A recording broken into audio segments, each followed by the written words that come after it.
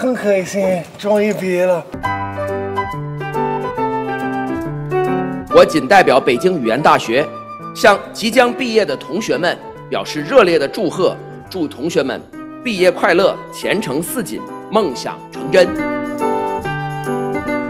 我毕业了以后要去赚钱，我说开了自己的公司，在广州有一家公司，然后我打算在北京还再开一个公司。我从二零一九年开始做这个工作，赚的钱是差不多差一点到一百万人民币。我在杭州找到的一份工作，我就感觉还是蛮合适的，是翻译相关的。我们那那家公司是贸易公司，我们是从从中国出口的，然后到欧美国家或者说非洲。很早之前我就打算毕业之后就留在中国发展，工作的机会可能比较多。我现在一共就会说五门语言，就是除了我母语阿拉伯语，然后还会说法语、英语、中文，还有一点日语。去年我在广州，嗯，兼职工作，呃，就是收到智利出口商的水果，然后遇到我现在的老板，他们很想要我跟他们工作。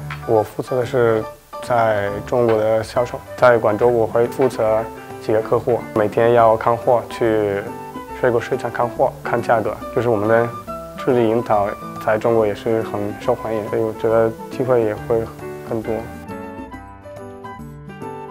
比如说我去一个公司，服务他们会非常好，他们会给你买飞机票，给你住那个酒店什么的都会给你安排。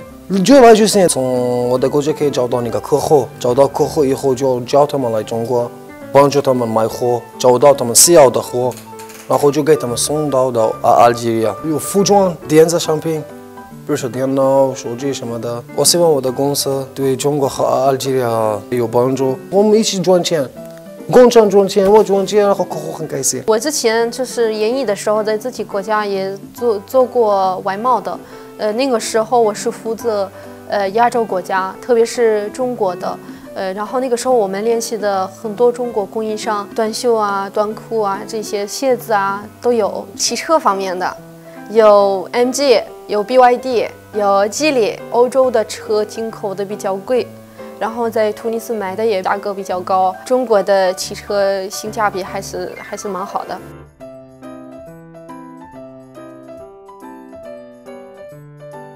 这个有一点苦苦的味道，有一点点花香和果香的。其实我去过好多地方，好多城市，有一些茶叶我都喝过。